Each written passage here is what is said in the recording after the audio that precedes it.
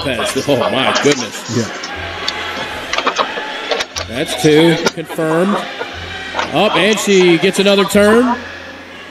She's looking for the fall. Step over.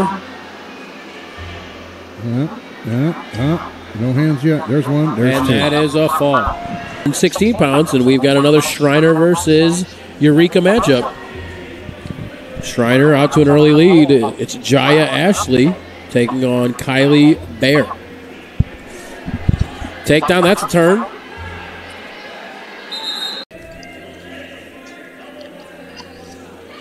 Nice, uh, nice shot. Switches it to a throw. That's four.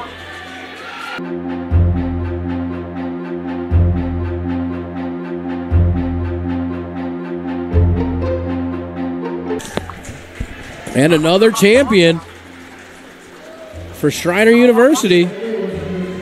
Three of the first four. Front of that bar arm. Now she's stepping over. Oh, man. There it is. And there's the fall. That essentially, I, if not mathematically, that might psychologically have wrapped things up True. for Schreiner. um, as a team, we like to hype ourselves up and oh, sorry, we like to hype ourselves up and um, you know compete at our best. We really try to think about how we can be better and do our best, and not really think about who it is that we're wrestling, but just how we can prove that we really work hard in our mat room.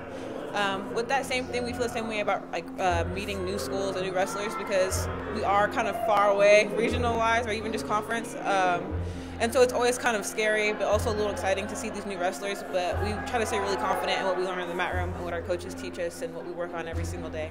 So we're always very confident in our technique and what we work. But it's always fun to see new wrestlers and get these new looks.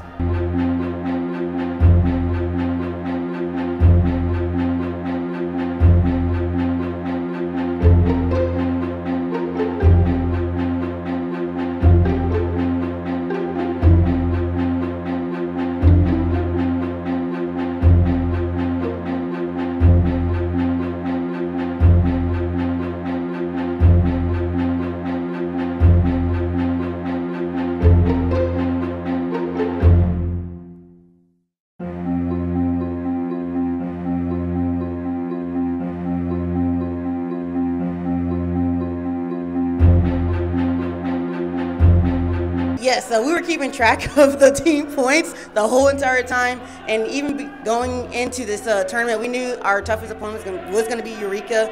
Um, they brought in 11, we brought in 10, so it, we knew it was going to be tough. And at the same time, the girls have been getting better and better as each performance been going by in this tournament.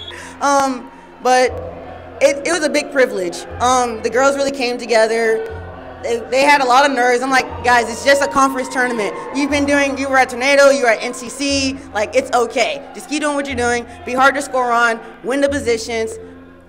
Let's have fun. And so we had good energy going in. They really supported each other and growing pains, I can say. So it just prepped us for regionals this coming weekend. Um, my season as a whole, it was it was very eventful. Uh, I had to stop wrestling for a little bit at the beginning because of a knee injury. Uh, but I went on break. I, I, did what I had to do to come back, and luckily my team was by my side when I came back, and they, they helped me get as good as I can, and prep me for just throwing me out there. Actually, my first matches. Uh, but I, I, really do appreciate the support I got from them and, and all that.